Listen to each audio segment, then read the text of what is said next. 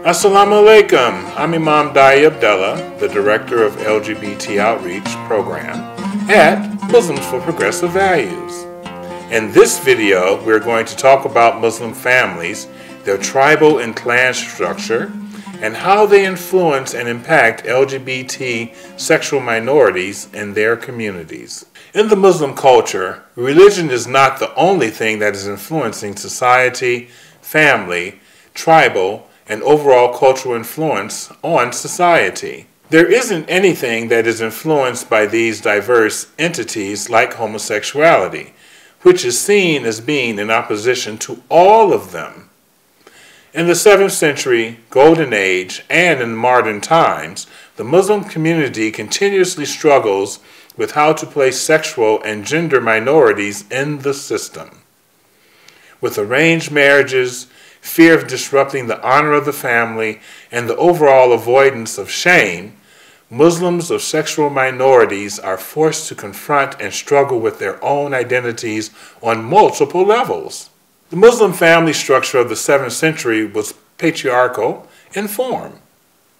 Generally speaking, there is a male leader who is the father or a relative guardian, responsible for all external leadership. Then, generally, there is a female figure, whether a mother or a relative guardian, who is responsible for the internal domain of the family. Of course, then there are the children, with the boys leading their sisters. When we look at that family structure, we can immediately see not a whole lot has changed since. Where does this family structure come from? Of course, we know it is a combination of faithfuls from the previous faiths as well as their local culture, combined with all the different cultures that the faith had come in contact with during various parts of history. The natural question then is to ask what was the impact of that type of family structure on homosexual children? In the 7th century, sexual minorities were a part of the Muslim community, as they did participate in specific roles as servants, entertainers, or artisans and craftsmen. Yet the community did not keep them in high regard because of their lack of adherence to the binary of male and female. This impact seemed to take away the identity of the homosexual child in the sense that we don't have any personalities to look to during that period as openly identified as homosexual. Therefore, we can see the cost of the tribal familial impact on homosexual Muslims. In the Islamic Golden Age, we know that identity was once again in conflict with other institutions. For example, El Alamin, the Abbasid Caliph, although married and had a son, El Alamin still struggled publicly between his own identity versus that of his parental expectations, societal expectations, and religious understanding. We know, for example, that his mother had problems with his homosexuality, and as did his older brother, for different reasons. His mother, in an effort to hold onto her power as the mother of the caliph, schemed against her son by providing young and androgynous women with painted mustaches to lure her son out of his homosexuality. In the meantime, his older brother used his brother's homosexuality to gather support and military might from society to overthrow his brother and take his title. Similarly, we can see other homosexual Muslims, such as Abu Nuwas, who also seem to have found a way to deal with their homosexuality and their faith, in conjunction with their patriarchal societies and tribal cultures. Of course, the Islamic Golden Age was not limited to the Abbasid culture. There were also other parts of the world, such as Muslim Spain, where sexuality and gender were revisited against old tribal ideas.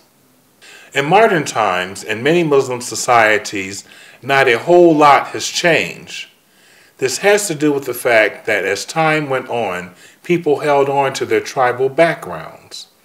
So, while things have changed for the better for homosexuals in many parts of the world, Muslims don't seem to have matured in a lot of ways when it comes to sexuality, family obligations, and what the tribal nature expects.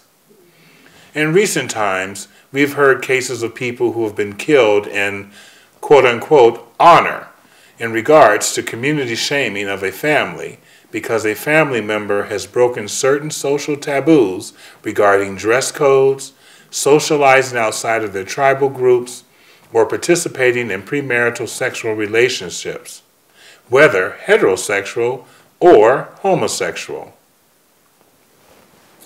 We have also heard about cases of mass arrests in many Muslim societies, as well as religious sects and different schools of thought, or governmental leaders gaining political support and quashing foreign, quote unquote, infestation of politics or homosexuality. This means the immediate family, the clan, as well as the patrilineal tribal influences are still active in the Muslim community. People are using all of these elements in conjunction with one another to suppress sexual and gender minorities.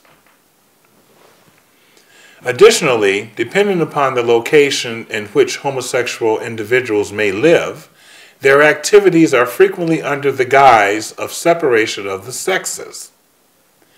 Same sex coupling continues to occur because intimate relationships between the same sex are not frowned upon in Muslim societies. However, as an individual reaches a certain age, usually in their late 20s, the question of marriage arises and becomes a heavily contested issue with mothers and older female relatives leading the pack to find them a socially acceptable wife or husband. In desperation, some homosexual individuals succumb to the familial pressure, knowing full well that such relationship may ultimately fail. If an individual is unable to find solace and inner peace at home, they may seek to study abroad or look for work in another country. In many Muslim countries, you will find a number of Muslim foreign workers living out their lives outside of the typical family structure. In conclusion, we see how the Muslim community of the 7th century has no place to identify as someone of sexual minority in a positive light. As we go down in history, however, we see how there is a generation of Muslims in the Golden Age who are willing to test the waters and to test their society by daring to love people of their same sex. In the modern times, due to many factors, the Muslim community and the Ottoman Empire were able to find a way to secularize their faith and their societies and abandon some of those old tribal influences. Today, the Muslim family, the tribal culture, and the modern times are still in conflict in various parts of the Muslim world.